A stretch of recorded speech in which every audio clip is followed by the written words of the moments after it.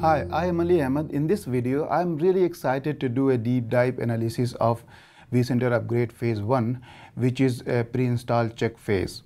So let's get started. So the upgrade process is start when we attach installation media on the machine uh, where vCenter server is installed. So we have attached that media. We are hitting install button. The installer uh, is preparing at this stage. So if I uh, go to the user's temp directory, I can see there are some files getting created. At this stage, uh, installer is initializing. Uh, that means installer is doing pre-checks on the Windows machine. Now you can see we have uh, vm install.log we have let me just pull out my pen. Okay so now we can see we have vm install.log we have vim vcs msi.log vc install.temp file is also getting created. So if i hit next at this stage we can see the installer has pretty much completed uh, the pre-checks. It's, it's because we can see there is file called vim vcs pre-check report 65 html uh, is created. This is a file where the installer will go ahead and dump every information or every uh, checks which he has already done. So at this stage i am accepting the terms of license agreement. So let's see what is there in, in the report file. So if we see in the report file, installer has already done so many checks uh, related to the operating system or related to the machine on which your vCenter server is running.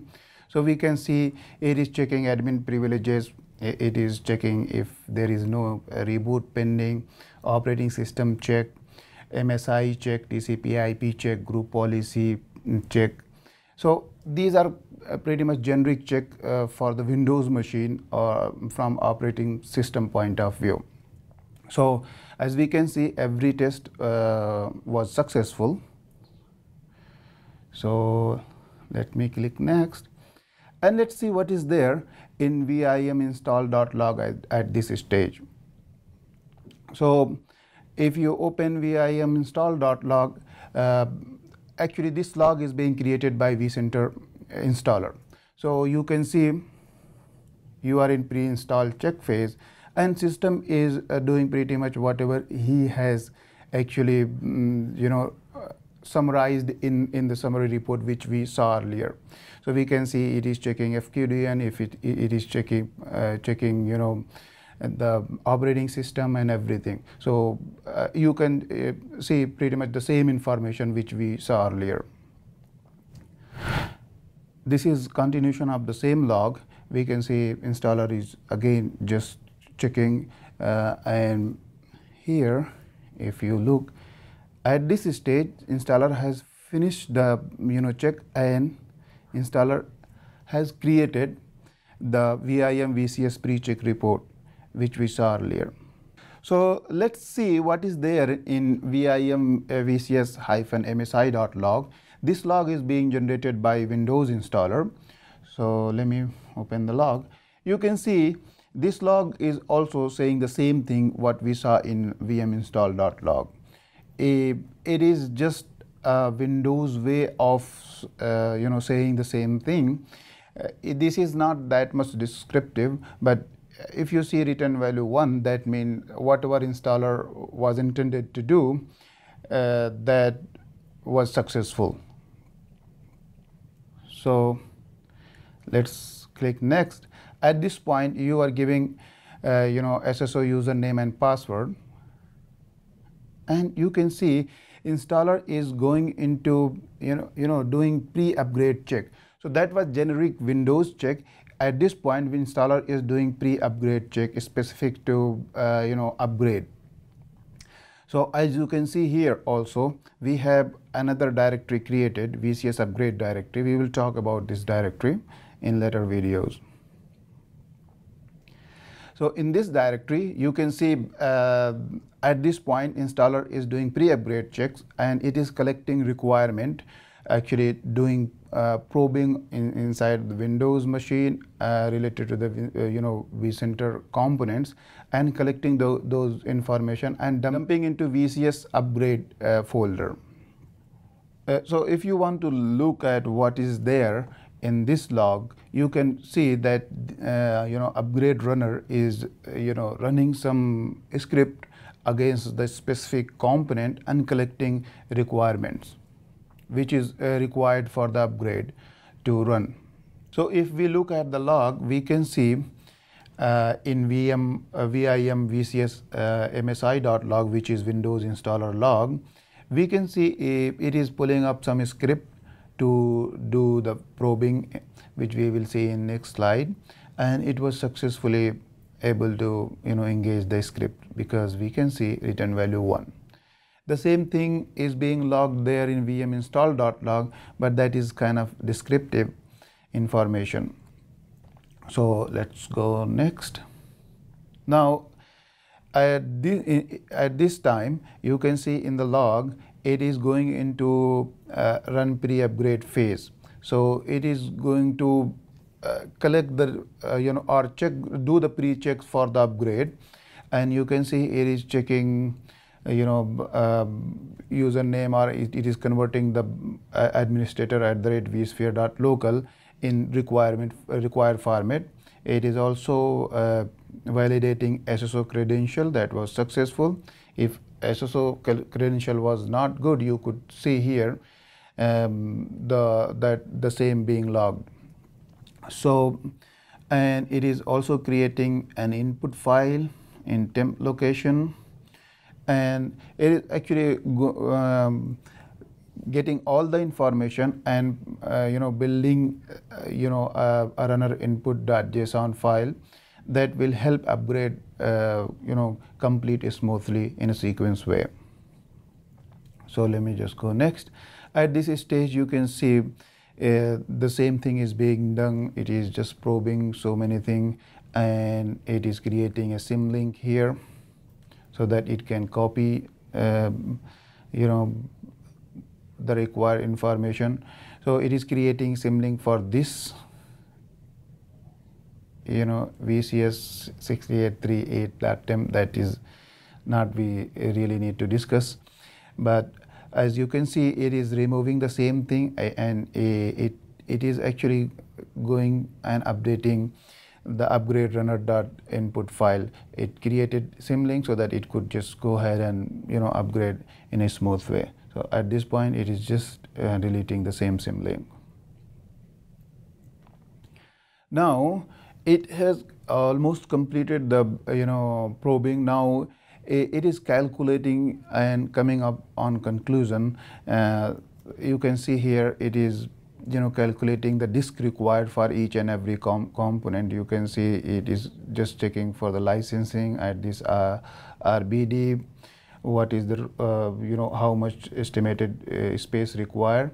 So you can see here. Also um, this is a VM syslog collector. So for each and every component it is calculating the disk required for export and import. And then it is also checking uh, whether the ports, uh, which port each and every component is using. So here you can see this is continuation of the same log. You can see it is checking FQDN. Then again it is making sure that the total you know export disk required for all the component is this and import disk required for all the component is this and it is also making sure that what are the port uh, that is already being used uh, for the component. You can see here it is being done. And if we go next. This is vim vcs uh, hyphen msi dot log. The same thing is being done done here. You can see that um, you know a step being completed but this is not descriptive log. You can simply say uh, for something it is just login for for other thing it's just saying that the you know value one and it was that means it was successful but this is pretty much the same thing which is uh, being done um, by the upgrade runner. So uh, if you uh, click next at this stage you can see uh, these are the default port which is required for for new vCenter server 6.5 to install to get installed uh, or um, install on this machine. So we will see we, we will actually freshly install this and then import. So um, in next uh, slides we will you know explain how install phase comes and how import comes. So at this stage now uh, windows uh, you know vcenter um, installer is making sure that what are the port that is being being already used by by the you know existing vCenter server and what are the port that it required for new vCenter server. the same thing is being logged in VIM VCS MSI.log. So this is continuation of the same thing you can see here. It is making sure that this port is being used uh, already in use and it is saying good to go. So if there is any port conflict, uh, you might look at this uh, log and you will come to know that there is a conflict. And if we look vim vcsmsi.log, the same thing is being done in a different way. So return value 1 means it was successful. So if I click next,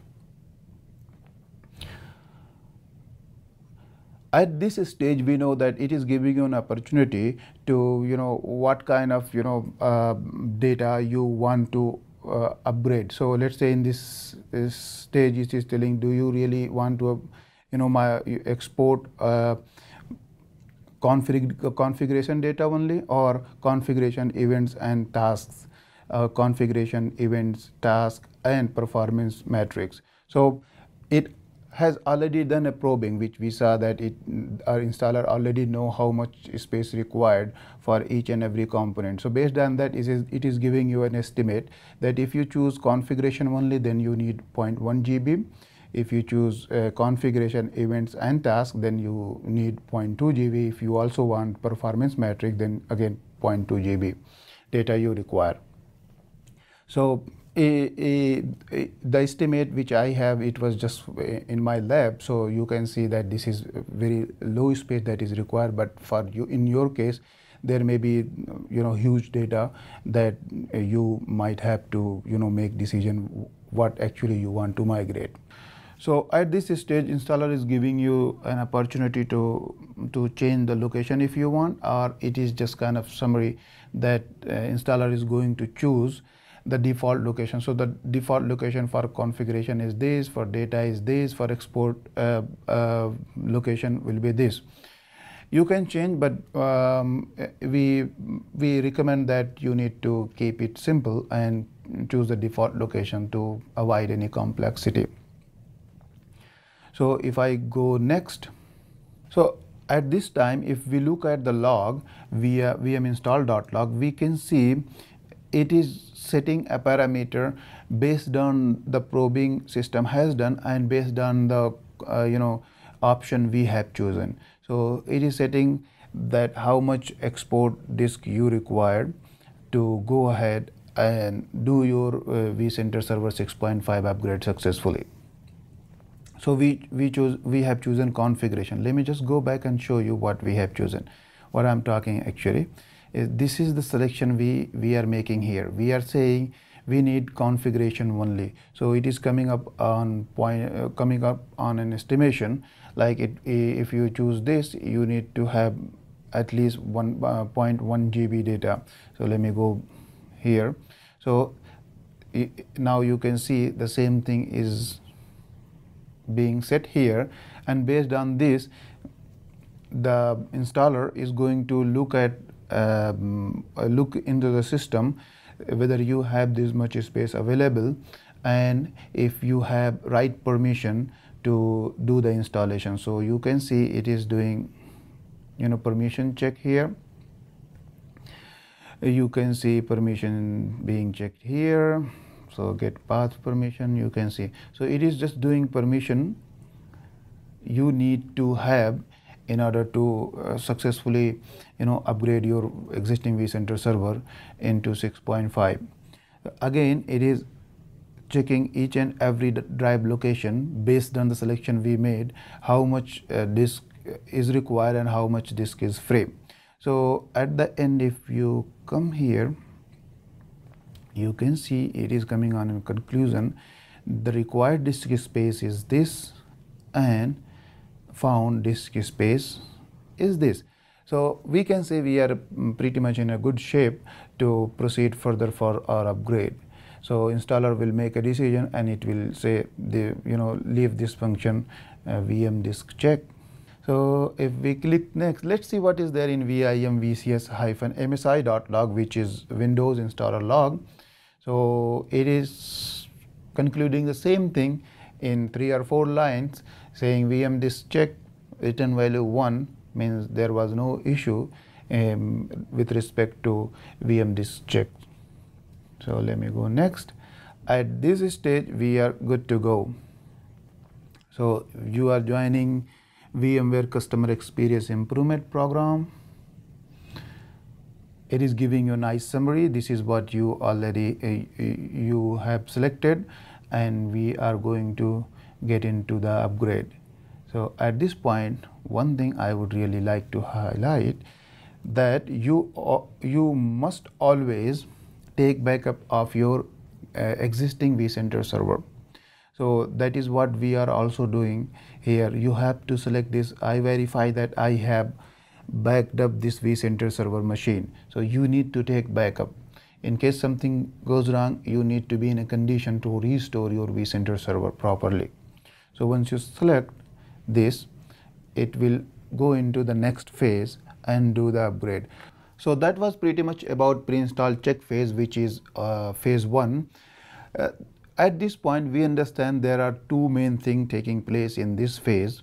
One when at very early stage uh, installer is doing a pre-check for uh, vCenter 6.5 installation and second when the installer is doing probing and gathering information for the upgrade. So at this point, installer is set to go into the next phase, which is install start phase. Uh, in next video, let's do a deep dive analysis of install start phase. Thank you.